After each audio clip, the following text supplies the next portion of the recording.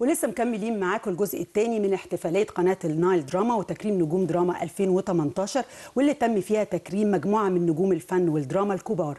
ومنهم النجم والفنان الكبير صلاح السعدني صاحب التاريخ ومشوار الفني الكبير في السينما والتلفزيون اللي قدم للدراما المصرية علامات مضيئة على سبيل المثال طبعا العمل الرائع ليالي الحلمية.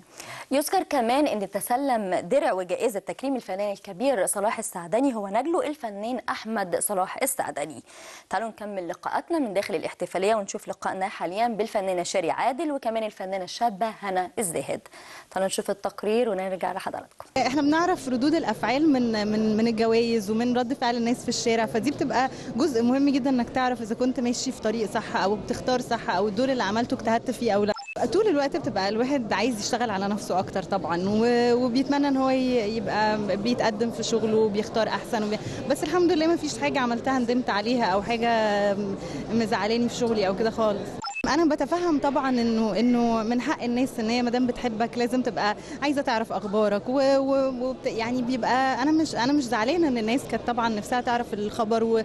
وكده بس أنا لما كان في خبر فعلا نزل رديت. يعني ردينا إحنا على الإشاعة لما لقينا إن الموضوع محتاج إن إحنا نرد ردينا.